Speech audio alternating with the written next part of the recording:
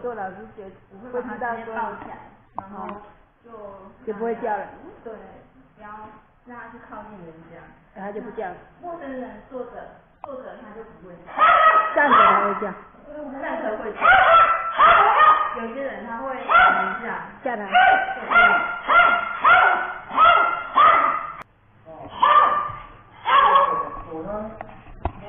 这 样就没事了。从小到大改不了的，就是有人走动，是不是？他不认识，只要从外面的门，只要从外面进来，对，他会叫叫叫让你坐下。你记住，他来你就要摸，他有来你就要摸他哦，记住哦。来来来，哦，好棒哈、好，敲门。你你可以叫他进来。请进请进。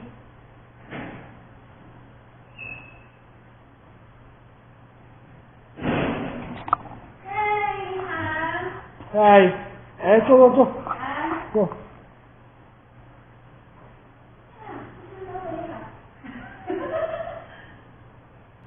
这就是能量啊！你的态度有出来，不是凶。很多人都误以为凶，让他知道谁是老大。这句话讲的是对的，可是做法当然做错了。让他知道不是去凶他，而是你要展现你的能量。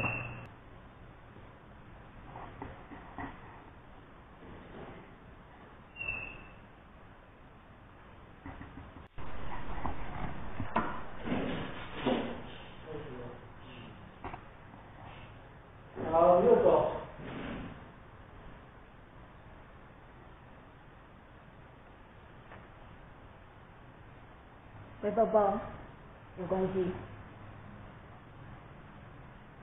对。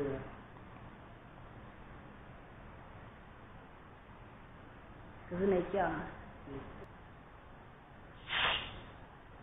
用掉。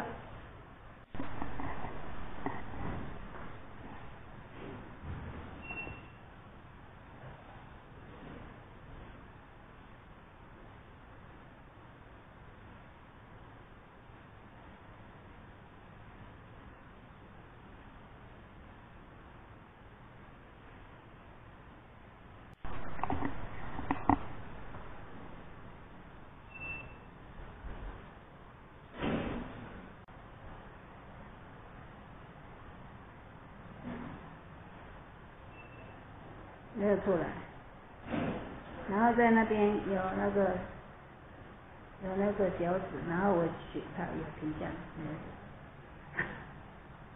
关多了。嗯。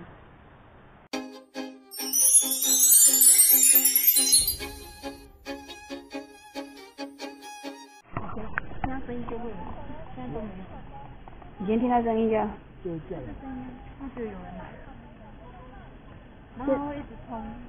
不是讲也黑，你要小心黑。哎没关系，你就先让他认识让，他稳一下，哎，这样就好了，这样就好了。这就好了。那这只。那姐姐怎么了。小脚受伤，受伤了我，们领养它，它就是三只脚了。嗯哦，好有爱心。你们这个是什么狗？马尔济斯，马尔济斯。嗯马尔济斯很聪明的。十二岁，他十二岁了，哦，那你给他顾得很好，保养的很好哈。对，很高兴就是邀请到老师来训练宝剑。那宝剑因为他已经十二岁，其实这个习惯啊已经很长久了。一开始我也是蛮担心说这个问题能不能改善。那今天老师他用他专业的态度，他又没有打骂，也没有他最主要的状况就是分离焦虑。对，然后从一开始的，嗯，我上厕所十分钟没看到我会叫，到现在我我可以把它放着，然后离开二十分钟，他他就是静静乖乖的在那里等我回家。他回家也没有暴冲说哦要来找我，就是很平静这样子。对，然后狗狗它现在连在笼子里面啊，看到也是很平静，也不会说像要一直叫一直叫这样，真的是改善很多，很不一样。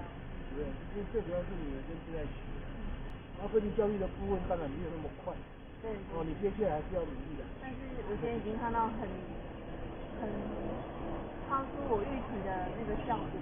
我我觉得自然就是主人我的责任，就是要继续把它训练，让它成为一个习惯，环境就没有问题。